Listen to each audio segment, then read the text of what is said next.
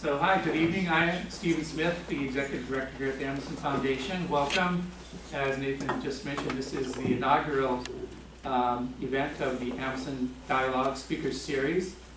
And we really hope it will be the first in a long line of events that we hope to continue to hold here in this space uh, to continue to build dialogue and exchange among the watching community and beyond. So thank you so much being here to, uh, as the first um, audience, if you will, participants in this event.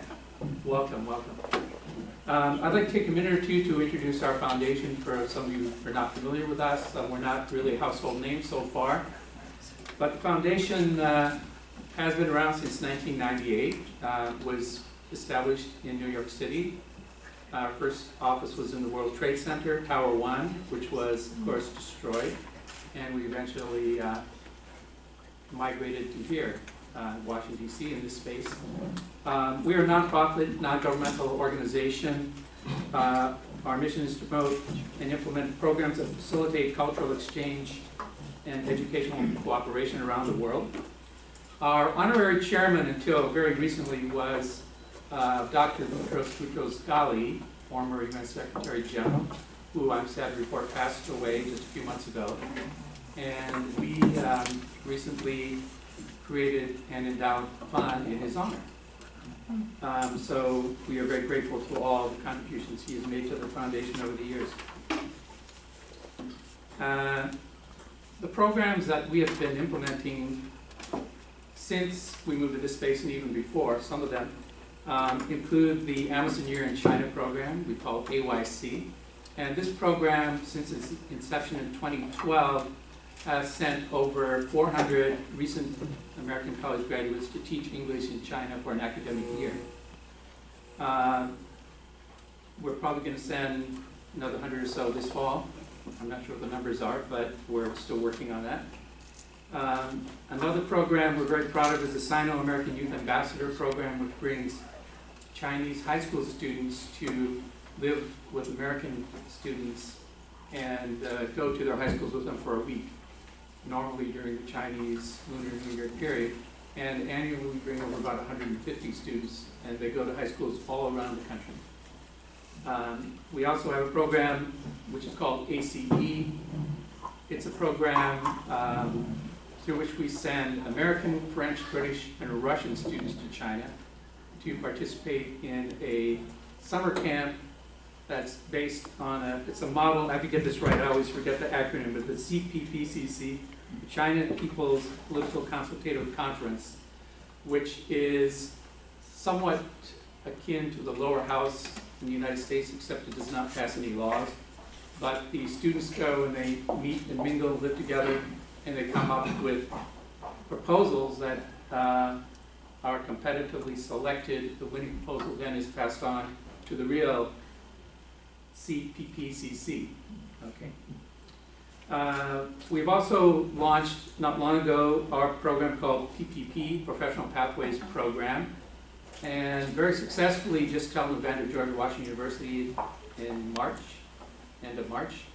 Uh, the program brought, I believe there were total around 300, uh, mostly Chinese college students from all around the East Coast who came to learn about opportunities, uh, both to return and find uh, jobs in China, but also uh, to potentially legally remain in the United States to work and pursue uh, opportunities here, uh, even if it's only short term. And uh, I'm not going to go into all of our programs because the focus this year is not all about Ameson, but I also want to, again, thank you that with the support of all of you, this is now our newest program. You're here at the infancy of Ameson Dialogue Speaker Series. So thank you so much for coming to this. And I also want you to join me in thanking all of our Ameson staff who have not only helped implement the programs, but who are helping out here tonight. So please join me in giving them a round of applause.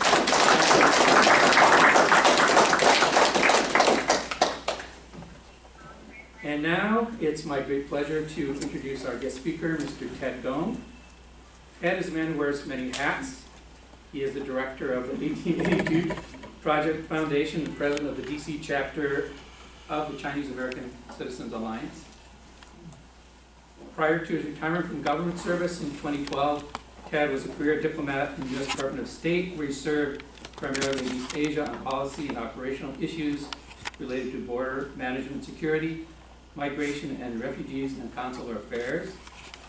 Having attended universities, California, University of Hawaii, and the U.S. Army War College, Ted has degrees in history, Asian studies, and national strategic studies. And To coin a phrase, e pluribus unum, right? We are, as Americans, we are a nation of immigrants whose ancestors left their birthplaces to brave rivers and oceans, uh, treks across deserts and difficult borders, and sometimes even had to brave air turbulence to come to our great nation uh, in modern times.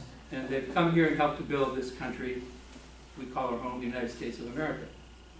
We're fortunate this evening to have uh, Ted, who's going to share his perspectives on the 1882 Foundation um, and the 1882 Chinese Exclusion Act, its eventual repeal, and the experience of generations of Chinese and other Asian Americans in the United States. Ted, welcome.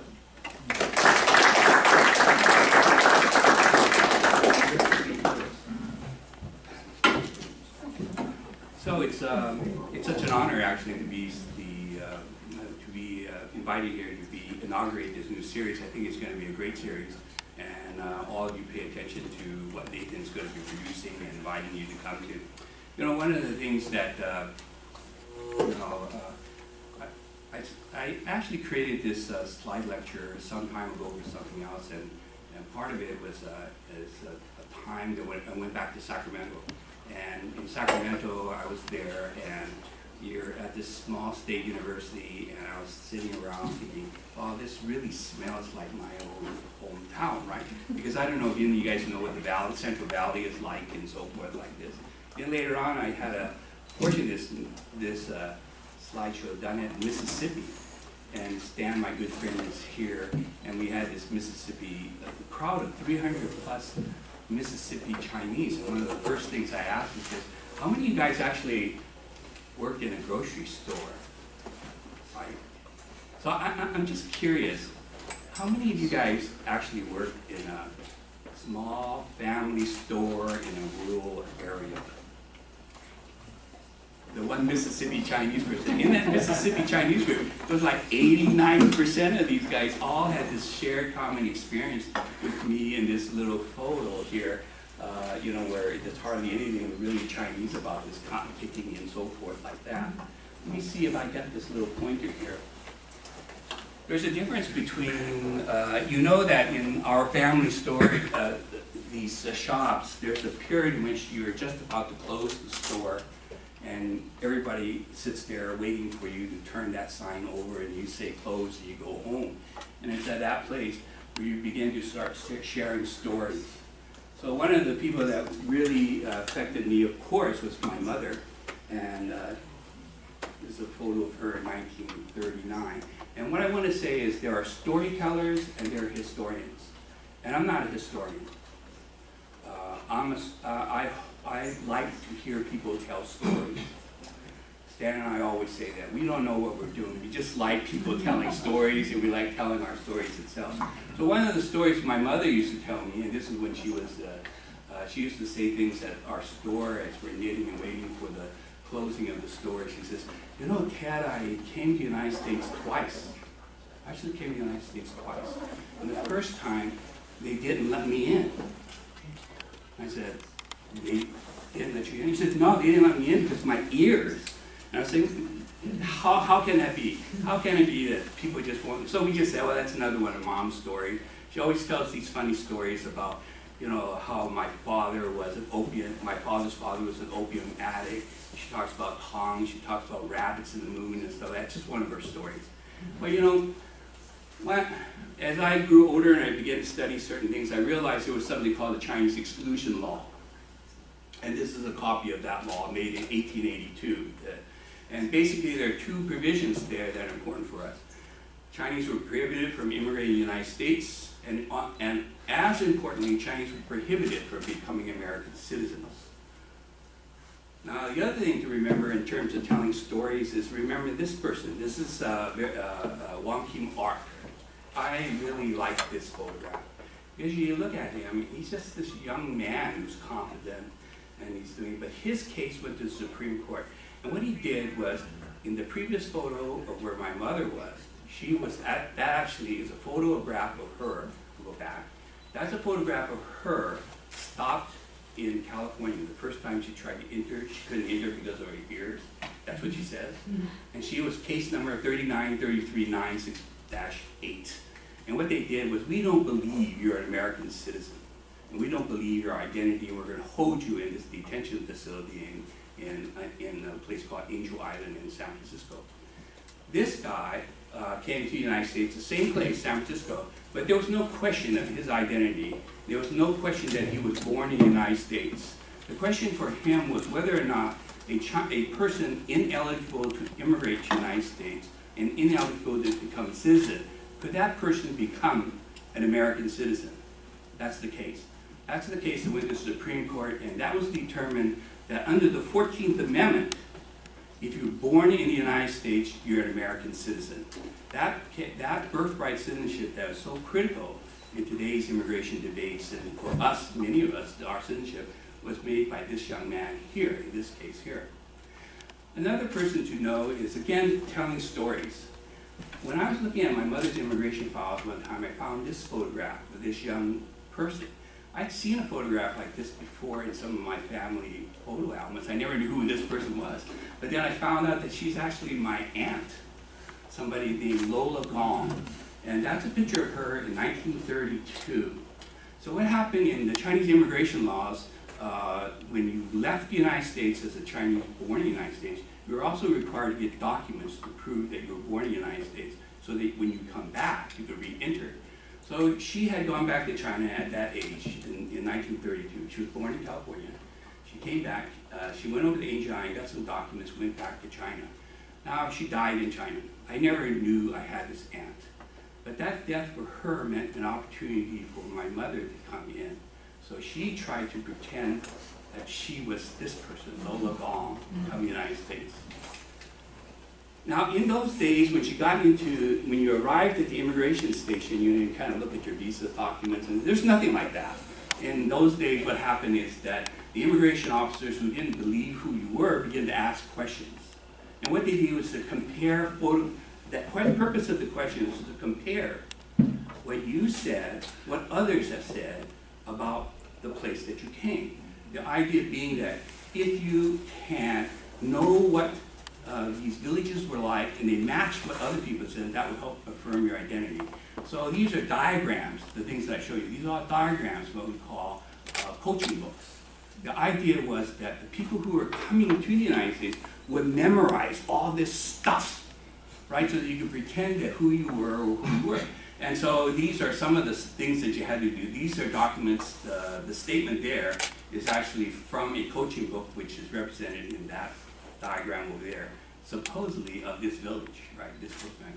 And you have to know things, you have to remember, your village faced south, the number of houses it has on the left to the right. Was there a wall in front of your house or was there not a wall? How many chickens were there in the house? You know, this kind of stuff like this. This is what they did. See, and so my mother had, this is actually a, a shot of the village where my uh, grandparents, my parents actually came from. So my mother had to remember that she came from here, and that actually is a set of the questions the immigration officers actually asked my mother. You can find those in the National Archives. These are the type of questions.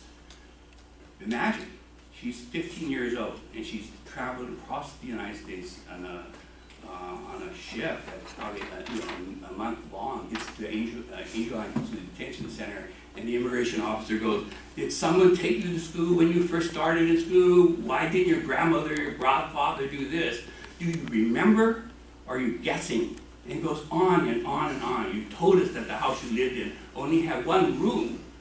Now are you saying that, did you live in that house? Are you, this is the type of things that went through that interrogation for many people, including my mother. She didn't do so good. She didn't memorize, she didn't memorize the, the story very well. She couldn't pretend to be Lola Gong. So in the end, what they did was they took the photographs.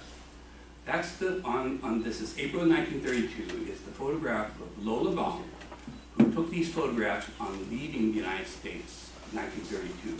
Seven years later, this person comes and claims to be Lola Gong. So the question for the immigration officer, is this person the same person seven years later? So uh, they got together a panel, they looked at it, they compared it. You know, remember in those days there's no DNA certainly, there's no fingerprints even. And so in the end, the, doc, the conclusion was this, and this, this is the conclusion.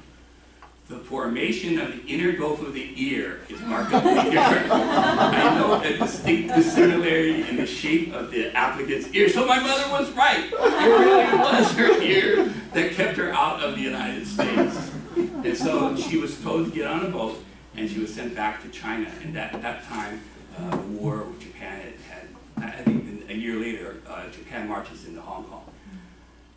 But the cause of the exclusion is this, very succinctly stated.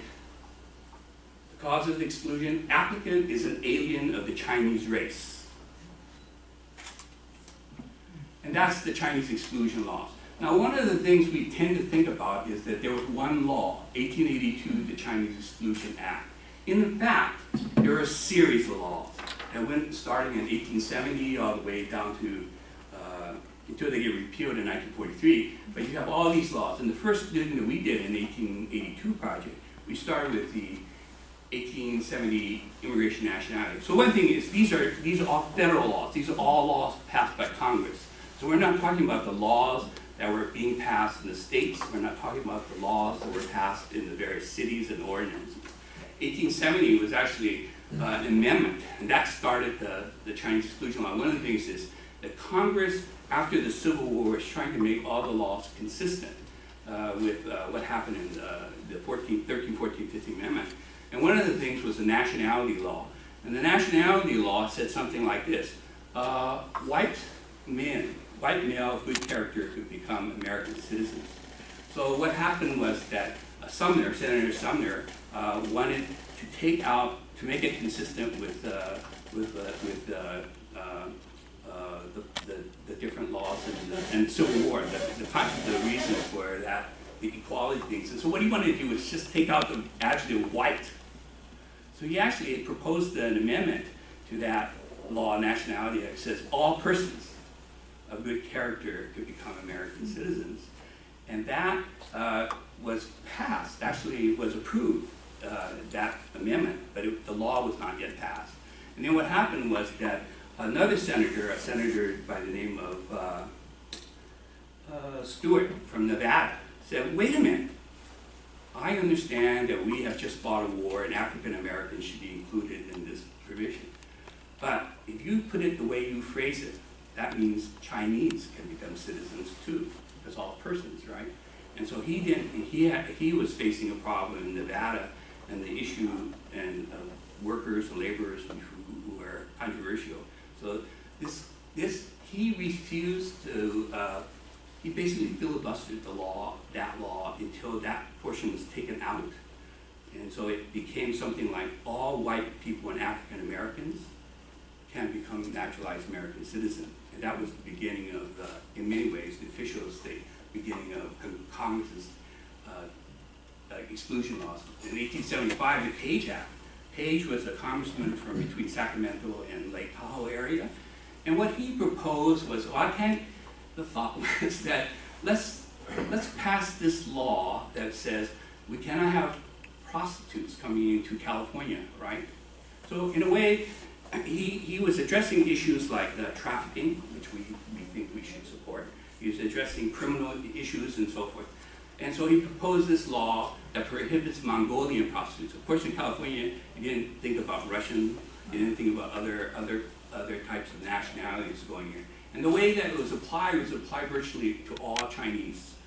And his intention later on, you could say, he says, do you want to renew this law in eight, after 1882? And he says, no, I don't need to renew this law because the 1882 law did what I wanted to do, that is to prevent Chinese from coming to the United States.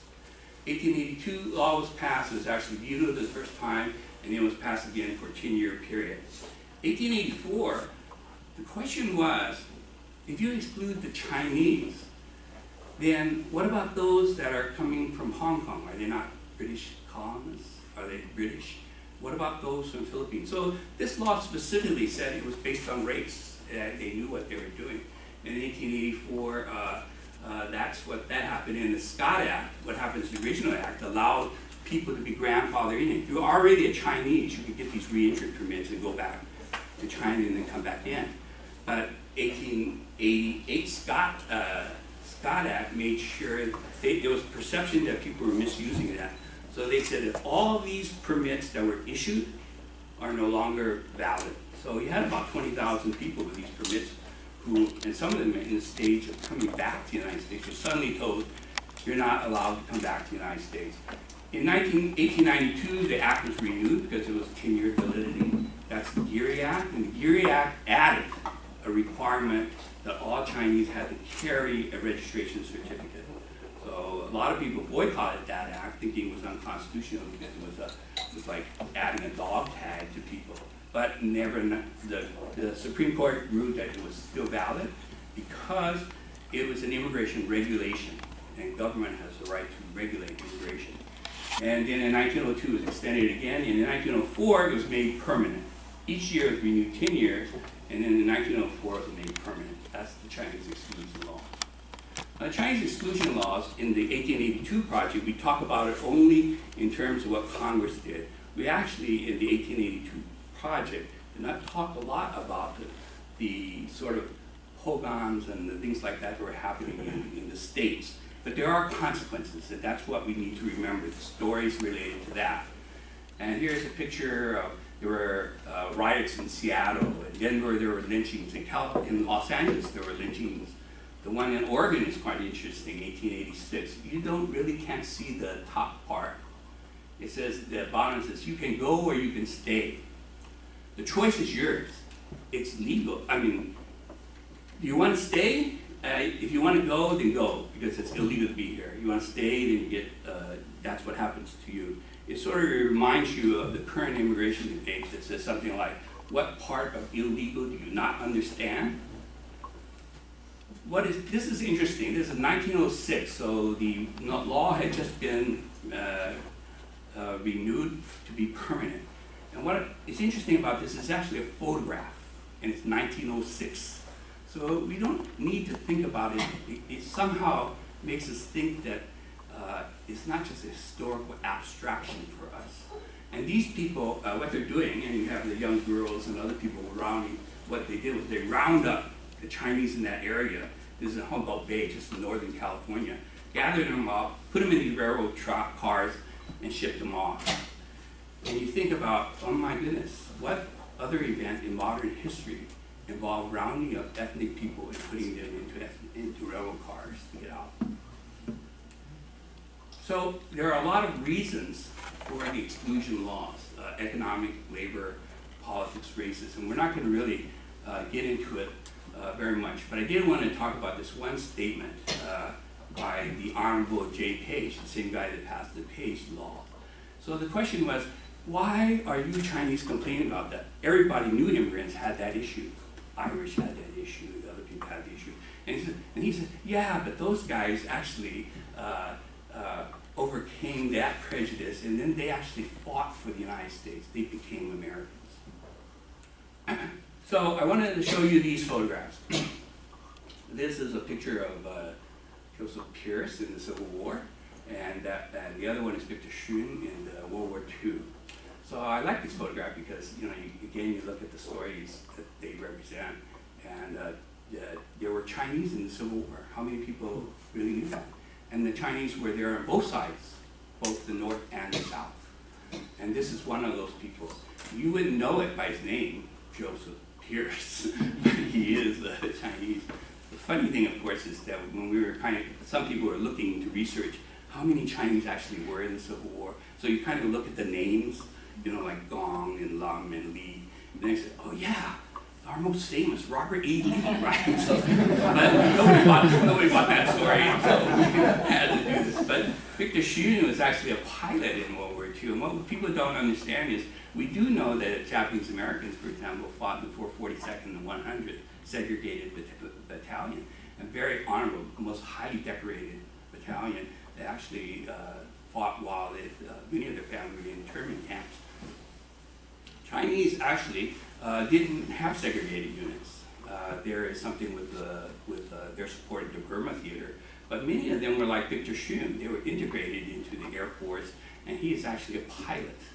There, the interesting thing is that he flew these B-17s over uh, over Europe, and uh, one of the interesting things was this pipe. The, the crew got awards for having completed so many so many bombings, and he was excluded for whatever reason. Uh, we don't know exactly why. It could be some of the reasons. But it's not just China, China men. There are actually China woman warriors.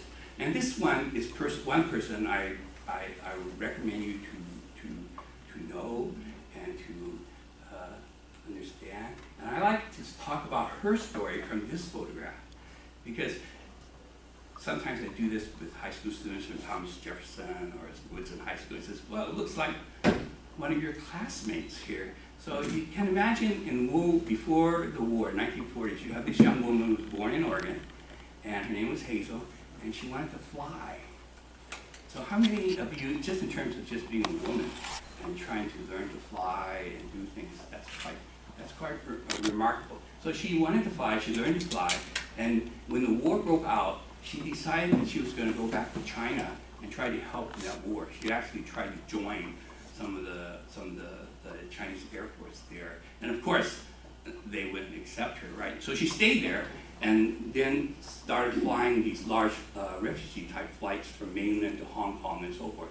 When, after the United States entered the war and there was a formation of the Woman Air, uh, the Air Support, the WASP, the Women Air Corps people, she returned to China and became one of those people.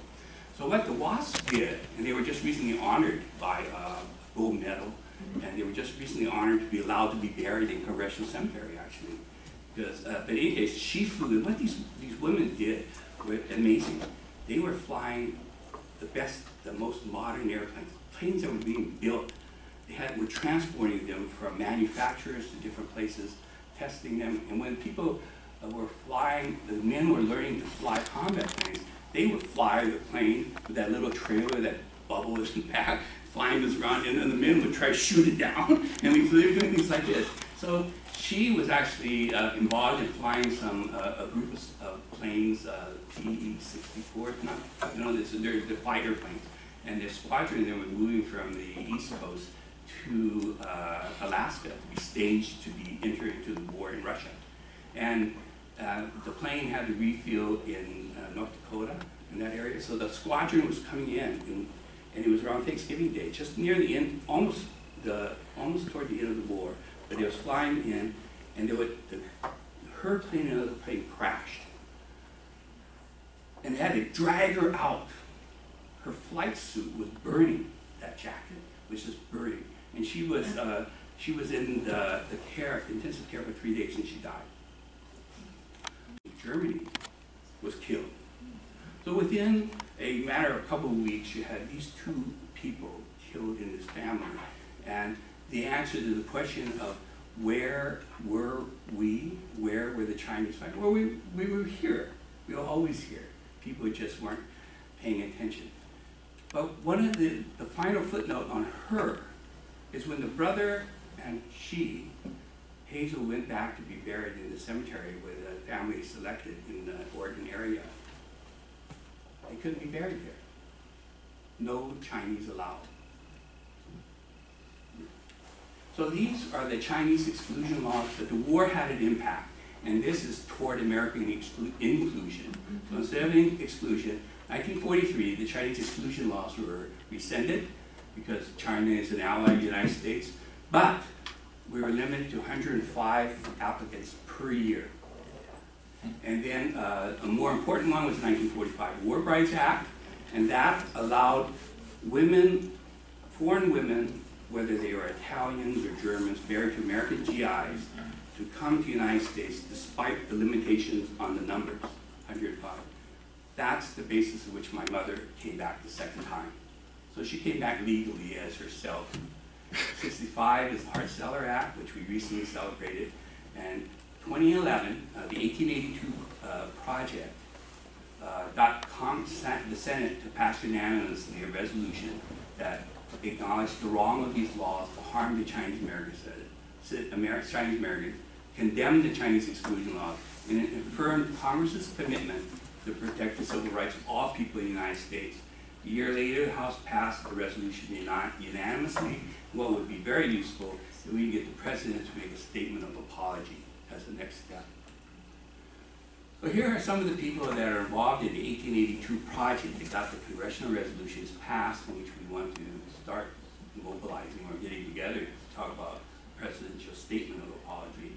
Uh, this is a, I love this photograph because, you know, these guys went to a congressman to get them, get this Congress, Congressman Brett Hart to support the resolutions. And they're about the same age as my mother when she first came in. These guys, uh, I just love this, and this ability for us to get these people to come and for the congressman to support is amazing. So at the end of the day, the story is about them and not necessarily about the past. It's impossible, and it's about us, all Americans. It's impossible to preserve the integrity of government like ours if we deny to any class in our community equal protection of law. The 1882 project is about American founding principles. Equality, life, liberty, pursuit of happiness, civil rights, and how the rule of law can be so wrong. All those laws were passed democratically by elected people. They knew what they were doing, but it was still passed and it was still wrong. What is good about the apology is the strength of our political institution. What other country can we go to make a presentation and they actually admit that they did something wrong? So by doing this, we actually affirm the strength of our, our institutions. It's about honoring our forebears, like my mother. So what we want to do is, in the 1882 Foundation, is we have three program initiatives, things to do uh, beyond just sort of having passed the resolution. How do you continue the education? Talk story, curriculum, lesson plans, and 1882 symposium. Talk story is basically oral histories. How do we collect them? Or if you guys can see uh, here, uh, one of the things we do is we create little film projects and collect them.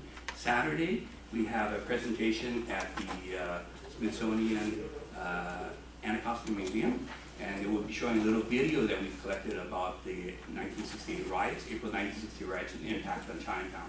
What is important about these talk stories is the concept is that it allows us to tell our own stories truthfully in our own ways, so that people like Lola or my mother can actually become themselves. They don't have to live these stories or pretend on these stories. They can tell their own story, and that's very empowering. The other thing we do is we do curriculum and lesson plans, pre-university. We're looking at pre-university. Asian American Studies already cover universities, but we are doing things like this. This is a lesson plans, and we work with people at the uh, different, uh, we're trying to develop collaborations with uh, other uh, people interested in education, whether it's Park Service or Forest Service or National Endowment. It's teaching the tough stuff. How do we create lesson plans? The other thing we try to do is build, uh, 1882 symposium is how do we build the networks of collaborations so that the several Asian American institutions and museums around the country, how can they best share their products and then make it more effective and make the experience, the visitor experience that much more. For example, electronically, how can you create museums without walls? What would be really nice is if there is a hub or a place at the nation's capital, say DC Chinatown. If you think about it, there's not a single, there's not, there's no Chinese American museum, no Chinese American visitor center. But it would be wonderful if something like that were to exist. And there's a location right here that if people really wanted to support, we could try to do. So what can you do? Support our education and public awareness mission, support our National Chinatown Visitors Talk Story Center in Washington DC. Take a look at our website, which is sort of in a half construction stage. And Yes, that's my mother, uh, a few years, uh, a year before my father passed away, a few years before she did. But the bonus question is what do Aussies eat? It's sort of a joke because it's, I usually do this at lunchtime or snack time. And then people always say, oh, Chinese eat everything? I said, well, wait a minute, you know, what do the Aussies eat? That's the question. So, if you have any questions, I'll be happy to take them. I'll go ahead There are, uh, around the room, there's a little pamphlet like this that explains the 1882 project, what we did politically, and it's there. And there are some things in here that explain a little bit more about uh, what our 1882 foundation is about. and those flyers are available um, on each of these tables, so if you'd like to get some of those afterwards, um, you will find them there. Um, And now we'd like to um, give everyone a chance to have some questions.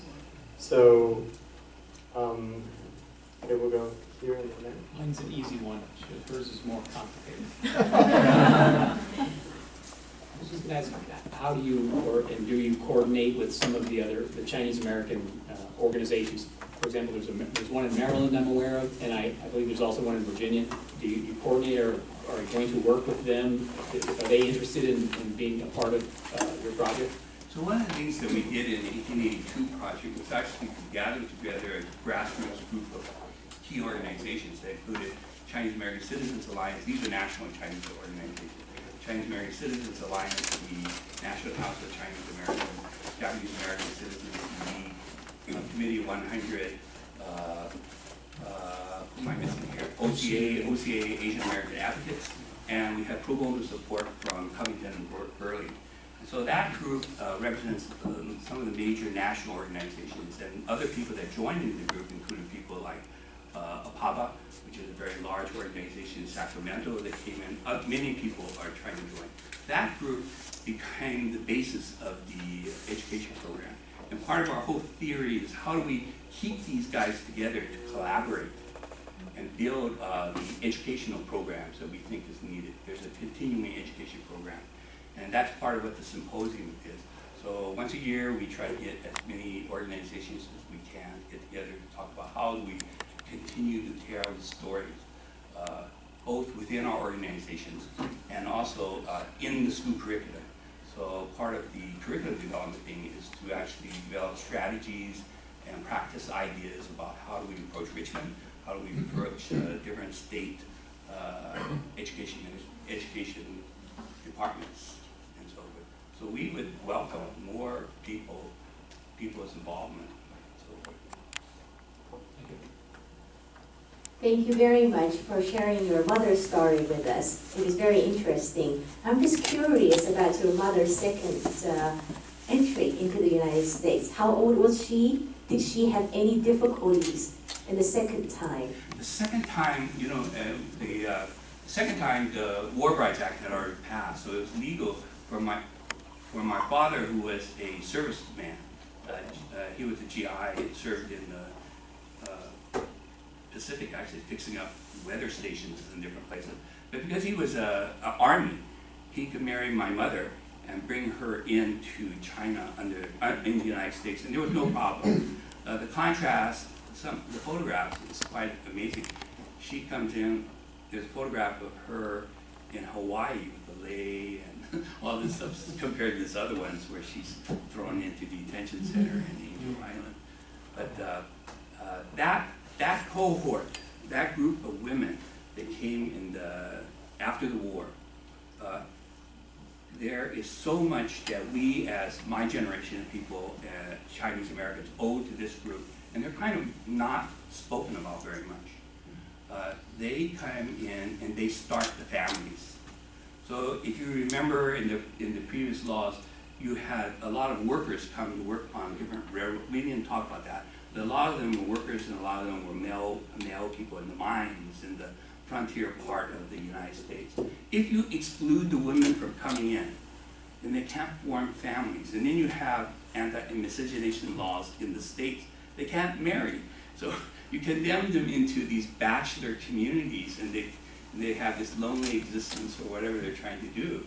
But once you bring in the families, then you have the ability to uh, have a normal life. And in many ways, that's what the 45, that's why the War Brides Act is so significant. I bet you, uh, I don't know, if Stan or other people, my, many of the people of my age, their parents, the, they, mother, came under this act. And that made, that made a big difference, big qualitatively. Um, My father came in as a paper son, Mhm. and at some point, um, I guess the US granted amnesty to all those that came, and he changed his name back to his original name. Mhm. Do you know, like, what year that was and how that came about? That was sometime in the 1950s, I can't quite remember, but it's very controversial. If my mother had come in the first time, she would have been a paper daughter, just like, just like many of the people came. So these are the, all the paper sons that were able to take that story and get into the, so you have these guys that are, you, you, you, you, that are not youngs, they're actually gongs, and they're not whatever. And then there was a period during the nineteen fifties where the immigration and FBI wanted to regularize all the law. So they had an amnesty period. If you come out, tell us who you really are, we're not gonna bother you, but you gotta write these, uh, family, uh, diagrams. Uh, so many people did, many people came and they got their names back. But a lot of people did not, because they didn't trust, and there was a lot of controversy. I don't know if in your family, people I feel like my father didn't change it until like the until, 80s. until the nineteen eighties. eighties, so. No, I think it Was was, there some new law that came about? no, it was probably, uh, I'm not totally sure, but it was maybe, maybe it was in the, uh, uh, maybe it's late in the sixties, but I don't think it was in the eighties. But it was, uh, but it was a lot of controversy. Still, families were split, It says, you can't do this, because they're gonna track down my cousin, my other people, things like that. But a lot of people changed names. Thank you very much for sharing all these stories and this history with us. Um, My question concerns textbooks. Um, Lately, we hear a lot about whitewashing history or using euphemisms to describe slavery and other um, shameful acts in American history. Have you seen that with the Chinese Exclusion Act and how it's being taught in schools?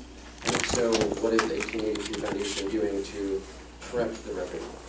So one of the, that, that's the core, one of the core topics we want to deal with in our curriculum lesson plan stuff. When I was growing up in California, uh, I don't know about you guys, but there was very, not very much said about Chinese exclusion laws or even the details of Chinese immigration and so forth. In California, we have a, almost two, two, almost a couple of pages on the Donner, the Donner, the Donner incident. I don't know if any of you guys know what the Donner incident was. That was these pioneers crossing the United States, and they got stuck in a place near Lake Tahoe during the middle of a terrible winter, and they got, they died, and it was cannibalism. And it's a big story about the heroism of the westward movement and all this sort of stuff. But within, from Donner Pass, you can actually see the summit tunnel. The tunnel was the tunnel that was created by the Chinese uh, la- the laborers to build the first transcontinental railroad. That tunnel is within sight of, of the Donner, Donner Pass area. That tunnel, the highest tunnel of a series of tunnels, built through sheer granite. Now, we need to tell these stories in this way. That, that tunnel was three football fields long. And if anybody knows what Lake Tahoe looks like in the mountain, that granite, it's just pure granite. And in those days, when was, that tunnel was built in 1867, 68, something like that, they, they didn't have power tools. They only had shovels. There, there were almost 8,000 Chinese building that railroad. And when that railroad was being built, three, three football fields long, of course, they started from the east side and the west side to meet in the middle, right, to save time. But in order to save time, they actually dug a tunnel straight down the middle, and then they built outward. Can you imagine what that engineering feat was like? And then when they joined the thing, it was less than a few inches off in terms of gradient and so forth. Eight thousand, almost ten thousand Chinese were on that, engineers, and they didn't, they just used picks, axes, wheelbarrows. They didn't even have dynamite, it was gunpowder. And they began to experiment with something called nitroglycerin, you know, and they, they built it during the, the dead of the same, of winter, much like the Donner Pass got caught in, in the winter. This snow was one of the most terrible snows. they had to build, tunnel through the snow, and they actually built places where they lived underneath the snow to get to the sites then. That story of the building of this railroad, and this railroad is one of three projects that Abraham Lincoln said was important to unite the nation. Homestead Act, the uh, Land Grants Act, and the Pacific Railroad. So important for the, uh, for the nation. And it never merited one paragraph in my history books, right? So the, what we would like to do is get that story out, get people to realize that those stories are there and the significance of those stories.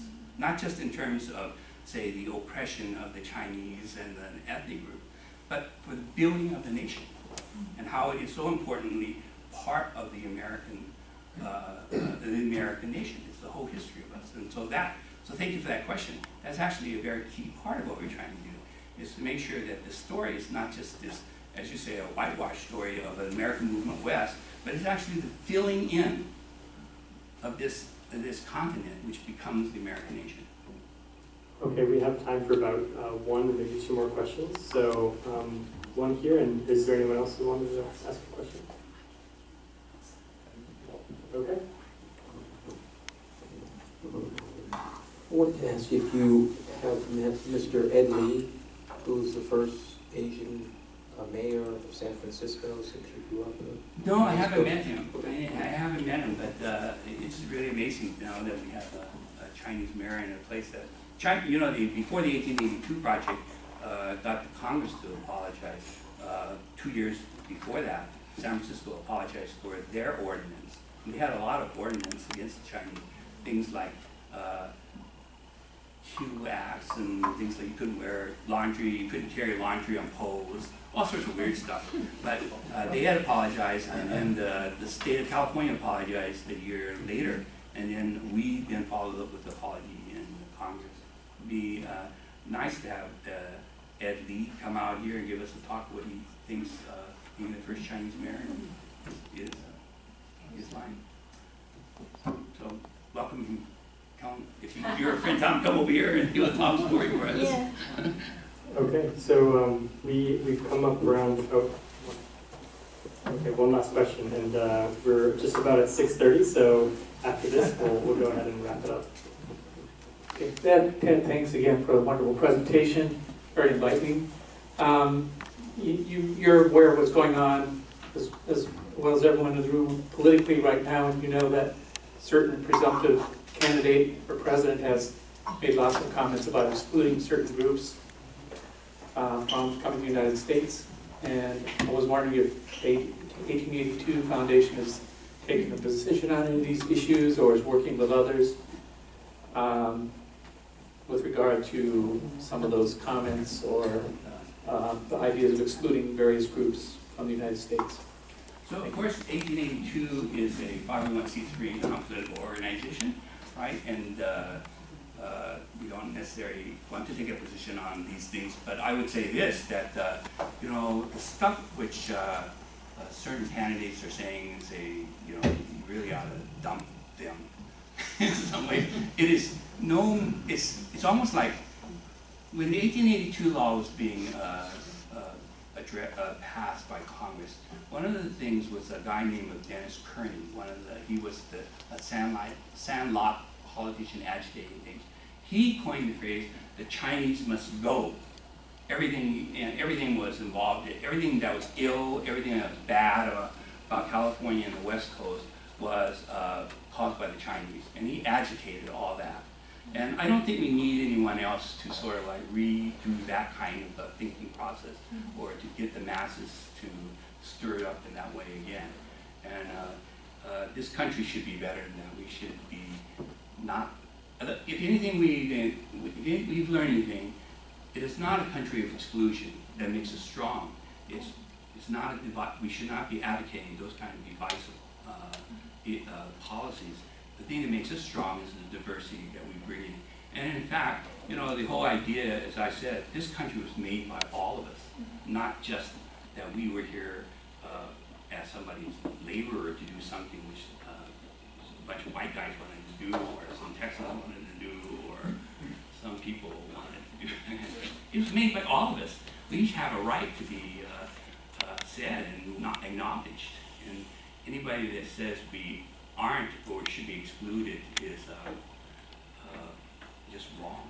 You know, you don't want, there, there's more, there's so much, uh, you know, some of the, I really don't want to get into too many things, but there's more parallel between what is going on with uh, Trump and this sort of stuff as, uh, say, maybe the uh, Weimar Republic actually during the 1930s, I think. So that you- people need to be careful. Okay, well, um, I'd like to uh, thank Mr. Gong for his very enlightening uh,